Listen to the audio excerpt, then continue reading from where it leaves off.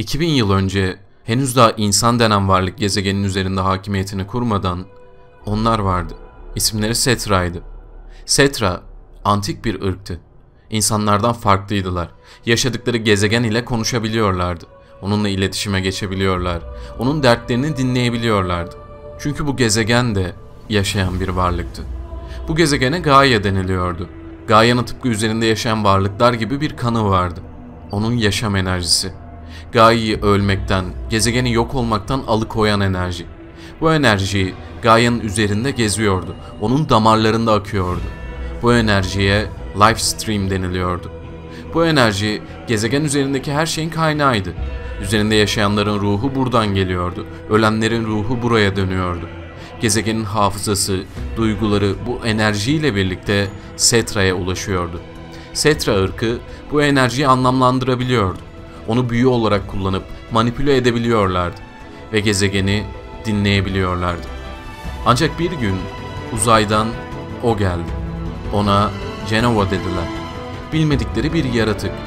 Bu yaratık Gaia'nın yaşam enerjisini yok etmek istiyordu. Bu gezegenin üzerinde yaşayanlar ile birlikte.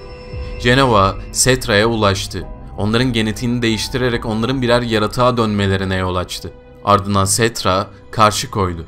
Ancak Genova, Setra ırkının büyük bir çoğunluğunu yok etti. Öldürmeye değerli görmedikleri ise Setra'nın alt ırkı olan insanlardı. İnsanlar gezegen ile iletişim kuramayan zayıf bir ırktı.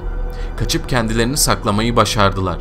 Geriye kalan az sayıdaki Setra ırkı Genova'yı zapt edebilmek için bir araya geldiler. Son bir saldırıda başarıya ulaştılar ve Genova'yı hapsettiler. Ancak geriye Setra'dan hiçbir şey kalmadı. Medeniyetleri çöktü, sayıları azaldı. Geriye çok azı kaldı. İnsanlık Setra medeniyetinin üzerine kendi medeniyetini kurdu. Zamanla Cenova'nın varlığı unutuldu ve Setra ırkı sadece efsanelere konu oldu. 2000 yıl sonra insanlık Gaia'nın damarlarında akan life stream'i kullanmanın yolunu buldu. Life stream'i elektrik üretebilen bir enerji kaynağına çevirdiler. Elektriğe dönüştürülen bu enerjiye ise Mako denildi. Mako'yu oluşturabilmek için reaktörler kurdular. Bu reaktörlerin etrafına bir şehir inşa ettiler. Bu enerjiyi üretebilen şirket ise bu şehri yönetmeye başladı. Bu şirkete Shinra Elektrik Şirketi denildi. Shinra'nın yönettiği şehrin ismi Midgar'dı. Midgar 8 farklı sektörden oluşan disk şeklinde bir şehirdi. Bu sektörler bir bir Shinra'nın ana binasına bağlıydı. Yüzeyde yaşayanlar zengin insanlarken bu diskin alt kısmında yaşayanlar fakir insanlardı. Shinra kendisine bir imparatorluk kurmuştu. Ancak tatmin olmadılar. Mako'yu daha efektif bir şekilde üretme arayışına girdiler. Bir livestream kaynağını arıyorlardı. Daha önce kimsenin ayak basmadığı bir toprak. Eski Setra kaynaklarında livestream'in yoğun olarak aktığı böyle bir yer geçiyordu. Bu yere Promised Land, vaat edilmiş topraklar deniyordu. Efsaneye göre Setra buradan geri doğacaktı. Shinra bu efsanenin doğruluğuna inandı. Bu yüzden binlerce yıl öncesinde kaybolan Setra ırkını yeniden diriltmek istiyordu. Onlardan kalanları bulmak istiyordu. Onları dirilterek Setra'nın vaat ettiği toprakları bulabileceklerine inanıyorlardı. Bu uğurdaki araştırmaları onları binlerce yıl öncesinde hapsedilen Cenova'nın bedenine ulaştırdı. Shinra bu bedenin Setra ırkına ait olduğunu düşündü ve bu beden üzerinde deneyler yaptılar. Onun genetik yapısını incelediler. Bu bedenden hücre örnekleri aldılar ve bu örnekleri hamile bir kadına enjekte ettiler. Böylece doğan çocuğun Setro özelliklerine sahip olup onları vaat edilen topraklara götürebileceğini düşünüyorlardı. Bu doğan çocuğun ismi Seferot'tu. Seferot doğar doğmaz annesinden alındı. Shinra tarafından bir asker gibi yetiştirildi. Pek çok göreve atandı. Ancak kendisi hakkındaki gerçeklerden haberi yoktu. Üzerinde deneyler yapıldığından, Shinra tarafından kullanıldığından haberi yoktu. İçerisindeki Cenova hücreleri ve aldığı eğitimler sayesinde başarılı bir asker oldu. Hatta insanlar tarafından bir savaş kahramanı olarak anılmaya başlandı. Ancak bir gün bir görev onu Nibelheim adlı bir kasabaya yönlendirdi. Yanında Zeg adlı ileri düzey bir asker ile Cloud Strife adlı bir piyade ile birlikte. Burası Cloud'un doğduğu kasabaydı. Bu kasabada bir Mako reaktörü vardı. Bu reaktörü tehdit eden yaratıklar olduğu söyleniyordu. Bu reaktörü araştırmaya geldiklerinde ise Seferot burada kendi üzerinde yapılan deneyleri öğrendi. Genova'nın bedeni buradaydı. Kendisinin bir insan olmadığını anladı. Ancak Genova'nın Setra olduğuna o da inanıyordu. Bu yüzden Seferot kendisini Setra ırkından biri sandı. Onların başına neler geldiğini biliyordu. Kendisine yalan söylendiğinden dolayı, insanlığın bu kadar açgözlü olmasından dolayı ve hatta kendi ırkı olarak düşündüğü Setra'ya ihanet ettiklerini düşündüğünden dolayı insanlar karşı içerisinde bir öfke birikti. Bu öfkeyi ise Nibelheim kasabasından çıkardı. Buradaki insanları öldürdü, evleri yaktı, parçaladı. Öldürdüğü insanlar arasında ise Cloud'un ailesi de vardı. Cloud, ailesinin gözleri önünde yanarak can verdiğini gördükten sonra Seferot'un karşısına çıktı. Buraya birlikte geldikleri ileri düzey bir asker olan Zek ile birlikte. Cloud, Seferot'u hazırlıksız yakaladı ve onu yenmeyi başardı. Ardından onu burada bulunan Livestream kaynağının içerisine attı. Ancak Seferot bu enerjinin içerisinde daha da güçlenecekti. Geriye kalanlar tarafından ise öldü kabul edildi. Bayılan Zack ve Cloud ise Shinra bilim adamları tarafından ele geçirildi.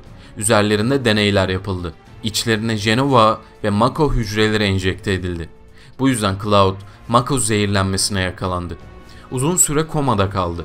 Ancak uyandığında halüsinasyonlar görmeye ve hafızasında sorunlar yaşamaya başladı. Anıları bulanıklaşmıştı. Zack ile bilim insanlarının elinden kaçmayı başardılar. Zack, Cloud'a kendi silahını verdi ve Cloud bundan sonraki hayatına paralı asker olarak devam etmeye karar verdi. Tüm bu olaylar olurkense Shinra'nın kontrolündeki Gaia zarar görüyordu. Shinra live stream'i çekip onu elektrik ürettiği Mako'ya çeviriyordu. Ancak bu işlem Gaia'nın gezegenin ölmesine sebep oluyordu. Gezegenin çığlıklarını duyan bir grup insan da vardı. Bu insanlar kendilerine Avalanche diyordu. Bu ekip Shinra'ya karşı ayaklanmıştı. Onların live stream'i kullanmalarını, gezegeni sömürmelerini istemiyorlardı. Gezegenleri için savaşıyorlardı. Ancak bir terörist olarak anılıyorlardı. İşte bu grup Midgard'da bulunan makro reaktörlerinden birini patlatmak için bir araya geldi ve onlara destek olmaları için uzun süredir paralı bir asker olan Cloud Strife'ı tuttular. Ve Final Fantasy VII Remake hikayesi bu andan itibaren başladı. Cloud ve ekip Shinra'ya ulaşarak Mako reaktörlerinden birini patlatmayı başardılar. Ancak patlama tahmin edebileceklerinden çok daha büyük oldu. Bu yüzden zaten terörist olarak anılan Avalanche halkın istenmeyen öfkesini üzerine çekti. Cloud ise patlamanın etkisiyle ve Mako zehirlenmesinin getirdiği etkiyle kendisini Sephiroth'un alevler içindeki anısını görürken buldu. Ancak Cloud ve ekip Shinra'dan kaçmayı başardılar. Cloud, Aerith adlı bir kadın ile tesadüfen de olsa tanıştı. Bu kadın sıradan bir kadın değildi. Bu kadın Setra'nın hayatta kalan son üyesiydi. Gezegen ile konuşabiliyor, livestream'i hissedebiliyor, onu kullanabiliyordu. Cloud ile tanışması tesadüf gibi gözükse de bu aslında kaderin bir oyunuydu. Cloud bu kadına dokunduktan sonra onun etrafını saran hayaletler olduğunu görebildi. Araya girerek sizlere bu hayaletler hakkında bilgi vermek istiyorum. Bu hayaletler gezegenin kaderin değişmemesi için gönderdiği araçlar. Final Fantasy VII'nin orijinal hikayesiyle remake'de yer alan olaylar bazı noktalarda birbirinden farklılık gösteriyor. Bu tarz farklılık gösterilen yerlerde Whispers denilen hayaletler ortaya çıkarak orijinal hikayede yer alan olayların yaşanmasını sağlamaya çalışıyorlar. Gaia adlı gezegenin yaşanacak hikayenin tekrar yaşanması için gönderdiği araçlar bu hayaletler. Remake'de yaşanan olayların orijinal hikayeden farklı yaşanmasının da bir sebebi var. Ancak o sebebe daha sonra geleceğim. Normalde bunları sadece Aerith görebiliyor. Ancak onun temasa geçtiği ve dokunduğu diğer insanlar da bu hayaletleri görmeye başlayabiliyor. Dönelim hikayeye. Cloud, Aerith'i oradan kurtarmayı başardı. Ardından Avalanche ekibinin kalanıyla buluştu ve birlikte onların saklandıkları bara gittiler. Cloud burada çocukluk arkadaşı olan Tifa ile karşılaştı. Tifa, Cloud'un kasabası olan Nibelheim'dan biriydi ve tıpkı onun gibi ailesini Sephiroth öldürmüştü. Cloud yıllar içerisinde paralı asker olmuştu. Tifa ise Avalanche'a katılarak onlarla birlikte gezegeni kurtarmak için uğraşıyordu. Avalanche ekibi gözlerini başka bir reaktöre çevirmişti. O reaktörü patlatabilmek için harekete geçmişlerdi. Ancak Shinra'nın başka planları vardı. Ekip Shinra'nın tuzağının içerisine çekildi. Reaktörü patlattılar. Ancak reaktörün patlamasıyla birlikte Shinra Sektör 7'yi, koca bir kasabayı havaya uçurdu. Ve bunun suçunu Avalanche'e yükledi. Bu esnada ise Avalanche ekibiyle yakınlaşan Aerith, ekibin saklandığı yerden kaçırıldı. Onun bir setre olduğu Shinra tarafından biliniyordu ve yeri ortaya çıkmıştı. Shinra onu kullanarak vaat edilen toprakları bulmayı umuyordu. Patlamadan sağ kalan Avalanche ekibi üyeleri ve Cloud, Aerith'i kaçırıldığı yerden kurtarabilmek içinse tekrar yola çıktılar. Sonunda Shinra'nın içerisinde deneyler yapılan laboratuvarına gelmeyi başardılar. Burada Aerith'i kurtardılar. Ancak onunla birlikte yeni biri daha ekibe katıldı. Red 13 denilen kurt gibi konuşan bir canlı. Bu kurt Shinra'nın deneyleri sonucunda bu hale gelmişti. Ona da Genova hücreleri enjekte edilmişti. Bu ekip Shinra merkezinden nasıl çıkacaklarını tartışırlarken ise Aerith kendi hakkındaki gerçekleri ekibe anlattı. Shinra'nın onu kullanarak amaçlarına ulaşmak istediğini söyledi. Ardından Whispers denilen hayaletlerin kaderlerin nasıl olması gerektiği yere itmeye çalıştığını anlattı. Remake'de yer alan bu hayaletlerin ortaya çıktığı anlar orijinal hikayede yer almayan anlardı. Orijinal hikayede hayaletler yoktu. Orijinal hikayenin ne olduğu, nasıl işlediği Aerith ve gezegenin kendisi tarafından biliniyordu. Bir nevi alternatif bir zaman diliminde yaşanan hikayeleri bilmeleri gibi. Onlar kaderin bozulmasını istemiyorlardı. Burada bunları konuşurlarken dışarıda yer alan Avalanche ekibinden bir çağrı aldılar. Onları almaları için bir helikopter gelecekti. Bu yüzden bu ekip Shinra'nın çatısına ulaşmak için yola çıktılar. Bu yolda Genova'nın bedeniyle karşılaştılar. Karşılarına ise Sephiroth çıktı. Buraya kadar olan kısımlarda sadece Cloud'un beyninde bir illüzyon olarak ortaya çıkıyordu. Ancak Sephiroth en sonunda burada gerçekten belirmişti. Ekip ayrı düştü. Burada yer alan başarısız deneylerle kapıştılar. Ardından Genova'nın bedeninin kaçırıldığını öğrendiler. Genova'nın arkasında kalan iz ise onları Shinra Başkanı'nın ofisine yönlendirdi. Burada Shinra Başkanı'na bir saldırı düzenlenmişti. Avalanche'in lideri onu kurtardı. Karşılığında ise Avalanche'in isminin temizlenmesini istedi. Ancak Shinra başkanı kurtulduktan sonra ekibe silah çekti.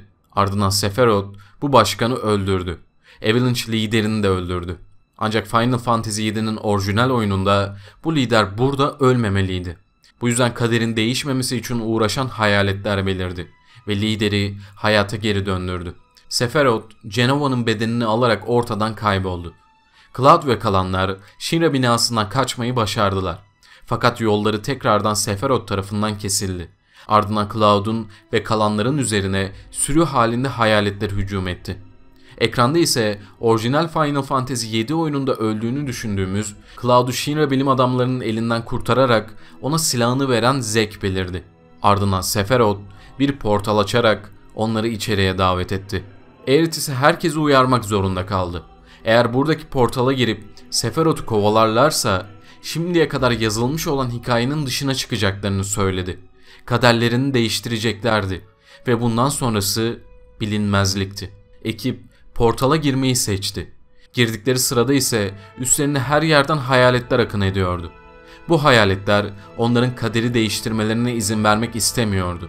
Ekip onlarla çarpıştıkça orijinal hikayenin gidişatından görüntülere tanık oluyorlardı. Gelecekte başlarına gelebileceklerden. Ancak bu değişmeye başlamıştı. Ekip kaderi yenmeyi başardı. Ardından Cloud Sephiroth ile karşılaştı. İkili karşılaştıklarında Sephiroth Cloud'a bir teklif sundu. Ona katılmasını ve kaderlerini kendileri çizmeleri gerektiğini söyledi. Ancak Cloud Sephiroth'a katılmayı reddetti. Sephiroth livestream içerisindeyken orijinal Final Fantasy VII oyununda yaşananları biliyordu. Kaderde dünyanın başına geleceklerden, orijinal oyunun nasıl biteceğinden haberdardı. Bu yüzden kaderi değiştirmek için kendi oyunlarını oynadı ve Cloud'la birlikte bilinmez bir kadere gidilmesini sağladı. Sephiroth, Cloud ile dövüşünden sonra onu uyardı. Son ana kadar 7 saniyen var. Bu orijinal oyunda yer alan bir yere göndermeydi. Ama Cloud bunun ne demek olduğunu bilmiyordu. Ardından Sephiroth ortadan kayboldu. Ekip hiçliğin ortasında kaderlerinin ne olacağından habersiz, orijinal oyundan farklı başka bir yolculuğa çıktılar ve Final Fantasy VII Remake hikayesi bitti. Final Fantasy Remake her ne kadar isminde remake geçse bile sequel bile diyebileceğimiz hikaye hatlarını oluşturuyor. Hem orijinal oyunun hayranlarını tam olarak üzmeden hem de seriye yeni bir hikaye atıp soft reboot diyebileceğimiz bir sıfırlama yaşatıyor hikayeye. Oyunun sonunu bilen Sephiroth kaderini, dünyanın kaderini değiştirmek için oyunlar oynuyor. Fakat bunu bilen, hisseden Gaia, gezegen, bunun olmasını engellemek ve kaderin olması gerektiği gibi ilerlemesi için hayaletlerini yolluyor. Fakat en sonunda kazanan Sephiroth oluyor ve hikaye şu an bilinmezliğe doğru yola çıkıyor. Bakalım bundan sonrasında hikayenin kalanı orijinalden ne kadar değişecek. Göreceğiz. Videoyu izlediğiniz için teşekkürler. Buraya kadar izleyen varsa videoyu beğenip abone olursanız mutlu olurum. Başka bir videoda görüşmek üzere. Kendinize iyi bakın. Hoşçakalın.